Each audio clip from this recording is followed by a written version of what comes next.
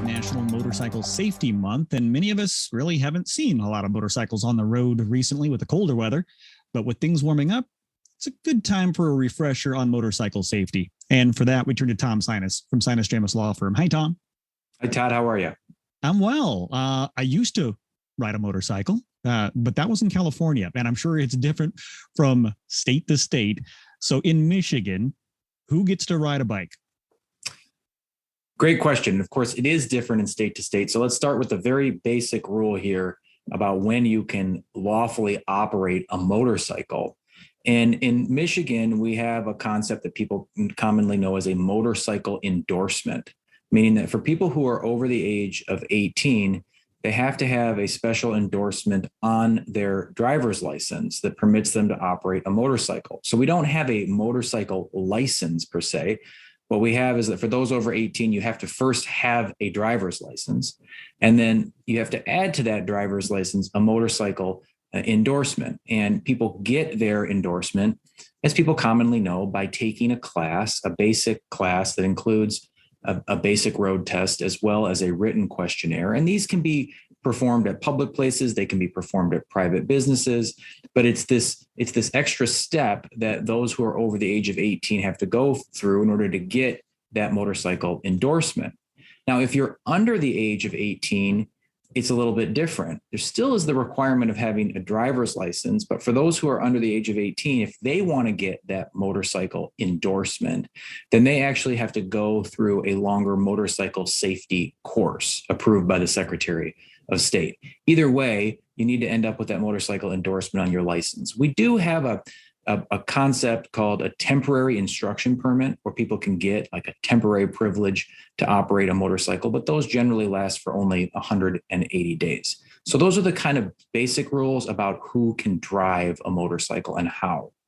So you're going to have to know how to operate a vehicle, get that car, that automobile license before you can safely or legally uh, drive that motorcycle. What about helmets? I mean, that's always the big key helmet law.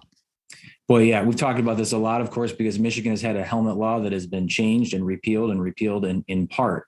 So here's, of course, the most practical advice, which isn't legal advice. Please wear a helmet in my line of work, of course, all I see are people who have been seriously hurt, and you never want to be in a situation where you're talking to an injured motorcyclist that that wasn't wearing a helmet. If motorcyclists are under the age of 21, they have to wear a crash helmet. People over the age of 21, again, I believe should, but legally, they can get out of that requirement under certain conditions.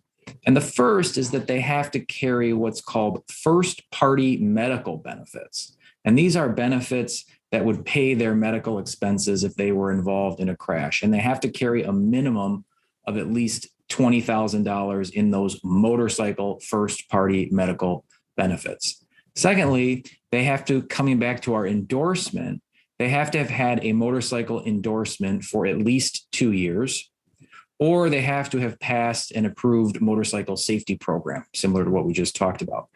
Only under those circumstances can the driver of a motorcycle operate without a helmet. And the first party medical benefit thing is not something that's common. And it's probably not something that most motorcyclists think about, but it's here, I think, in some sort of recognition that if you're riding without a helmet, you may very well end up more susceptible to injury. And so you may need that extra coverage, but query whether it's worth it, especially if you only have the $20,000 in coverage. You know, helmets obviously the number one safety mechanism for those on motorcycles. Are there any other safety rules for those driving a motorcycle, or are they the same for automobiles? Well, I think perhaps the best rule that, that everyone should know is, and this is directly out of the statute, a motorcycle is entitled to the full use of a lane, and a motor vehicle, a car, must not be driven in such a manner so as to deprive a motorcycle of the full use of a lane. And that's a different rule than, say, what we have for um, what we call low speed vehicles or electric skateboards, these other type of electric or motorized vehicles that we sometimes see. It's a different rule for motorcycles, and it, it, it is really what it says. The motorcycle is entitled to a full use of the lane, just like a car. So motorists should not expect or become annoyed if a motorcycle is not operating in the right hand of the lane because it's not intended in a, in a lane to have both a car and a motorcycle. If anybody out there wants to get more information about motorcycle safety, or God forbid, maybe they have been injured, uh, who can they call? Well, they can find our law firm online at www.sinasdramis.com. They can give us a call at 616 301 3333 or shoot us an info, excuse me, shoot us an email at info at sinasdramis.com. There's also a bunch of great information out there the Michigan Secretary of State's office uh, about some of these basic requirements, as well as some of the other insurance requirements. And perhaps we can talk some more about that later. But motorcyclists have a lot of good tools out there for them.